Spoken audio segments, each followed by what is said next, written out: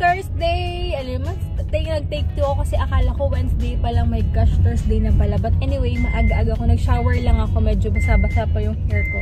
Pero katawan lang kasi mamaya di ba mag-shower ako. Ay, mali mag, mag-workout ako din sa Bayligo. But anyway, punta na ako kay la mama. 11.44 na nga. Na-late na ako kasi ang dami ko pang inasikaso kanina. Nagsagot pa ako ng mga PMs, etc. Kaya medyo late. Di ba ako nag edit ng vlog, pero priority muna is pagkain namin. Tapos, yun, babalik ulit ako ng barangay later. So, excited na ako. Ayun, tapos, may na lang. Tapos, ito, nag, nag ano ko, na-addict ako sa Pinterest na ubos yung oras ko kahapo, kagani kanina.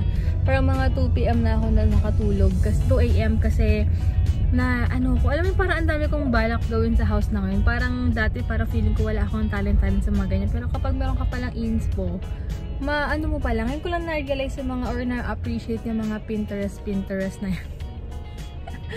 ngayon ko lang naisip yung mga ganyan nakakaloko. But anyway, ito bibigay ko kay mama kasi wala siyang space sa sa room namin talagang give up ko na hindi ko talaga siya bet as in hindi rin siya basta dapat kasi white yan eh. Ko pink talaga yung pinadala sa akin. Sama pa rin talaga ng loob but anyway Gamit ko ngayon yung serum foundation. Pag gusto nyo ganito lang yung parang uh, parang dewy-dewy look lang, wag na kayo mag-powder. Pero kung super oily kayo gusto nyo gumamit ng serum foundation ko, meron din akong binibenta na BB Mineral Powder. Super ganda rin. Ang ganda. Mamaya naglalagay ko yun kasi aalis ako later. May pupuntahan ako. Pero priority ko muna is kukunin ko yung food. Wait lang guys. Ano to? Wawang charap. Sa inyo lang yun. Oh my gosh. Ano, bibili mo na ng ulam ito sa kapitbahay. Eh, wag na magkanin. Bibili na lang ako ng food niya. Magja-jollibee na lang siya. Sayang yung kanin niya. Ito kay Ate Net. Thank you so much. Buti maaga ka nagising. Saan ka pupunta? Sa munisipyo. Buti nga pa drive. Ano oras? Ano masabi mo sa face ko ngayon? Gamit ko is uh, serum. Mura pa naman dyan. Foundation serum. Dami mo ako. Oo, ayos lang. Ingis lang ang mukha mo. Ano, ano? Ano, ano lang, serum, ano lang yan, foundation, tsaka mga... Sabi mo, hindi na kuha na niya ako, oh. Wait, kumuha ka nag-asikaso kasi mama lang mo kung ano-ano ngayon dahil wala lang. May ano lang siya, may Buti nakuha niya lang Hindi siya. pala barangay certificate. Barangay Ah, para sa saan yan? Sa ano ko, postal Ayan guys, busy-busyhan din kasi si mama kasi sa sarili niya. Diba, salita ko ng salita kanina pa. Kalimutan ko pala ibaba yun kasi marami ring ganap na inaasikaso si mamang mga papers, etc. Basta, wala lang. Para, basta, wala ka nang sabihin. Huwag na lang. so, may kanya-kanya kami inaasikaso. Pababa ni Tata Jemo. Tsaka, eh, wait lang. Ito pala kay Mama Tata Jemo. Sabigay kay Mama. Nakalimutan ko na mga... Ma, tulungan mo si Tita Gemma! Yung ano, yung sabi mong dugyot na color pink. Mamaya Tata Gemma, daan ako dyan. Ito pa, oh. Pabukas si Tata Jam sa, sa likod. Kay, kay mama yan, kay mama yan. Ayun, wait lang guys, ha. Ito. Grabe guys, pangalawang bote na namin ang chili oil. Super sarap talaga. Thank you sis Kat, and sa hipag mo. What's the equal now? This one, I want this. No. I want the white one. Ow. I want the white one to go. Where's, where's the white now, Mom? Here. No. Use the ink one. Mom, Mommy, no. Where's the white dip right now? Where's the white There. dip? No, it's not there. I get it. No. I get it. No, I would. The one tip one is for you, Mom. The one What? tip one is for you. Super sarap talaga ng macaroni ni Mama. The best talaga in the world. yeah. Ma? Hi guys! Hindi ako nakapag-update kanina kasi sa sobrang nilaan ko yung oras ko kanina kay Hugo, halos ayaw niya akong pag-workoutin. So, ginawa ko, kinuha ko yung scooter niya, nag-scoot-scoot siya dito sa house namin habang nag-workout ako dun sa garahe namin. Tapos, sabay kami maligo para iwas na rin sa workload ni Daddy. ako na lang nagpaligo kasi usually banding nila yun, but ako yung nagpaligo kanina para kasi alam ko sobrang pagod at busy dahil kasi kasuhin niya pa si Bingo. So sabi ko paliguan ko na. Hindi na ako nag-update kanina na nag-workout ako or what. But nag-skipping rope ako ng 15 minutes lang. And then, ayun, pinaliguan ko si Yugus. Pinakain ko na siya yun. Kakatasan niya kumain. O, late talaga siyang kumakain kasi mayat mayahin kumakain. so, ayun lang guys. So, yun, tomorrow na lang and thank God sa lahat-lahat for this, thank you Lord for this day and good night guys. Ayan. Ako na to, wala na to, no? What did I tell you? Mag-lipstick muna tayo guys. You have unclear instructions. Napuna naman ng basura. Gamit ko yung Care Bear na mat. Sabi na tang thing for me, but okay lang. Grabe, napanood ko yung yung vlog. Dad, tanggalin mo na nga yung dito mo. Hindi ba yan, ano ba to? Dito kailangan dito. Pero kailangan ko yan, may business meeting ako bukas. Ha? Ay, pakialag. Table ko yan, okay? Ko na lang. Napanood ko yung ano, napanood ko yung sorry.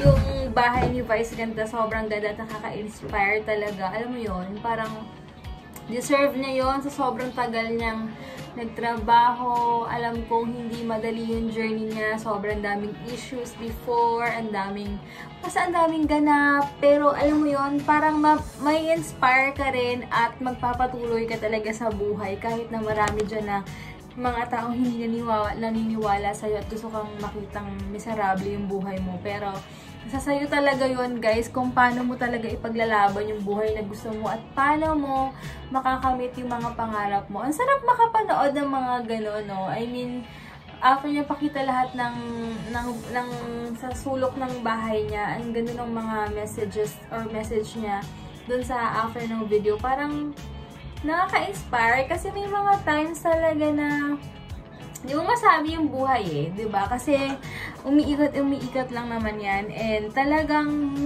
madalas talaga susubukin ka ng ng panahon. Pero alam ko naman na kahit ganon is, hindi talaga tayo mababayaan ni Lord. Alam, alam mo, hinahayaan niya, sabi ko nga diba sa inyo, hinahayaan niya mangyari yan. Kasi para sa atin yan, dahil kung hindi, tayo, di, kung hindi tayo susubok, hindi tayo magta-try, hindi tayo lalabas sa comfort zone natin, hindi tayo mag-grow. Parang sabi nga nila, di ba, pag tumanda ka, na nakita mo yung sarili mo, na ganito ka pa lang, gan, ganito pa lang, or ganyan ka, ka lang, or ganito pa rin yung buhay mo, ibig sabihin, parang hindi ka nag, ano, hindi ka nag-grow, wala kang tinatry na something new, parang ganun. So, Magpasalamat tayo kung maraming times tayong nadapa. Magpasalamat tayo pag na masyado, ma, marami tayong times na nag-failed sa mga kung saan sa ang mga bagay kasi dahil doon hindi ka magiging ganito ngayon. Alam mo yung ganong, ganong feeling. Medyo masakit ulo ko guys kasi naulanan ako sa dalawang araw na nakakaloka. But anyway, yun nga, parang, di ba, minsan susubukin ka talaga pero just keep keep the faith lang talaga and tuparin natin o mag-focus lang tayo sa mga pangarap natin guys kasi tayo lang din naman makakatulong yan I mean tayo lang din makakatulong sa sarili natin tayo lang din ang makakapag pabago sa buhay natin wala nang iba at wala ka rin maasahang ibang tao na na tutulong sa na ina-expect mo. Ay sabi nga lagi ni mama, wag mong hanapin lagi yung sarili mo sa ibang tao.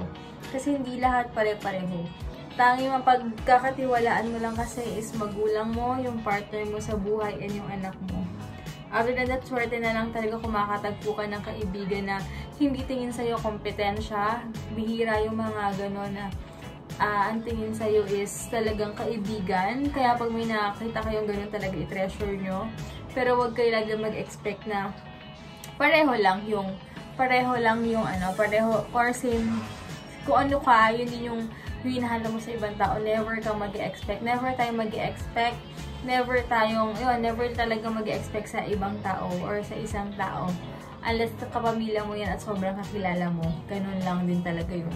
So, alam mo yun? So, maging, mag, mag, maging wise na lang tayo sa mundong to kahit anong mangyari, focus tayo. And syempre, hindi naman may iwasan guys na talagang magkakamali ka sa journey mo. Pero okay lang yun. Walang nakakahiya doon. Wala kayang, wala na kayang umamin ng pagkakamali. Wala nakakahiyang magkamali guys. Basta go lang sa buhay. At least nag-try ka. Ibig sabihin pa nagkamali ka. sabihin, gagamitin mo siya kapag natupad na yung mga pangarap mo. Yun lang naman yun. So, yun lang yung mapapabaon ko ngayong araw na to. Sobrang wala akong ginawa ngayon kasi nag-bonding kami maghapon Hugo. Binigyan ko tong time na to sa kanya. Kasi, ilang kasi nga may inaasikaso ko, ilang days akong busy kasi marami-rami kong order sa Shopee. So, medyo busy ako lately, kaya sabi ko babawi ako ng oras sa anak ko. So, bawing-bawi naman, ayos, halos ayaw niya akong ipag-workout kanina. So, ginawa ko, kinuha ko na lang yung yung scooter niya, nag-scooter-scooter siya dito sa, sa sala namin. Tapos habang nag-workout ako, nag-workout ako ng 15 minutes. Di pala ako nakapag-picture kasi nga si Yugo, pinaliguan ko agad. But nag-workout ako kanina, guys. So, ayun lang. So, tomorrow na lang, guys, magpapahinga na rin kami. And, ayun, thank God sa araw na to nakaraos. Maraming maraming salamat at natawid namin yung bills namin. Ayun, maraming maraming salamat talaga Lord sa lahat. And ayun, thank God sa pagpo-provide lang din. Magpasalamat, maging grateful tayo palagi sa mga buhay natin and kung anong binigay ni Lord na buhay sa atin. So, ayun lang, and maging wise sa buhay. So, yun lang guys. Thank you so much guys for watching and God bless. Bye!